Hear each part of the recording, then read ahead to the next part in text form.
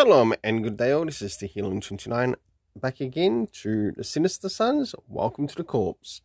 And um, as you can see here, I have two variants uh, in relation to this particular issue. And being issued to by Peter J. Tomasi. Uh, first things first, do these covers in any way, shape or form connect to something that is happening inside with the story. For the first one, I give an 8 out of 10. For the second one, on the right hand side, which you see, an 8.5 out of 10.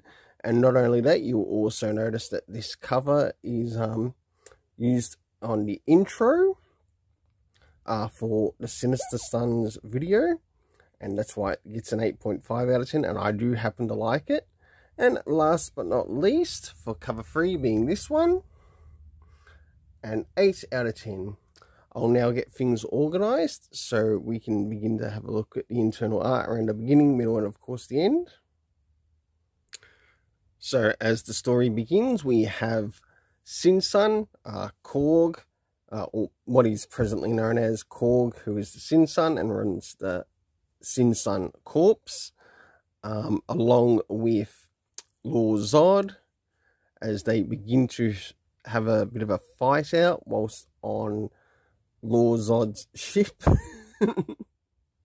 until things start to go an array for him. So I'll start to move towards the middle of the story for the internal art.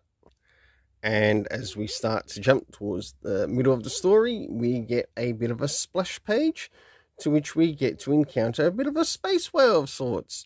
Take note, this is not a Purrgil of the terrible um, Disney.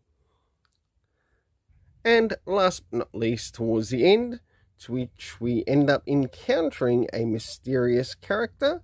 I am personally wondering if this might actually be Tommy Tomorrow. Uh, the same, I think it was Tommy Tomorrow that also starred in the Adventures of the Super Sons. I'm wondering if we're actually seeing him here or if it's someone completely new. So for the internal art for the story, I give it a 7.5 out of 10. Next is the area of the story itself. So first things first, do we get anything that addresses what's happening time-wise? No, we don't. Next is the location, uh, which is in space. We don't actually get any indication as to um, where it's taking place in space.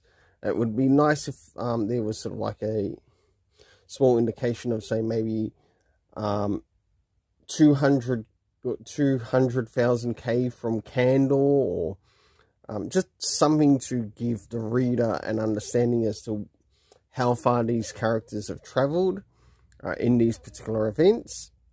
Uh, the key cast of characters consisting of Lor-Zod, Korg slash the Sin-Sun. Uh, for the overall story rating, I give it a 7.5 out of 10.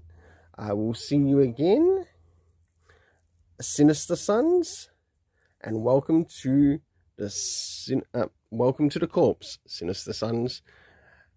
Until next issue,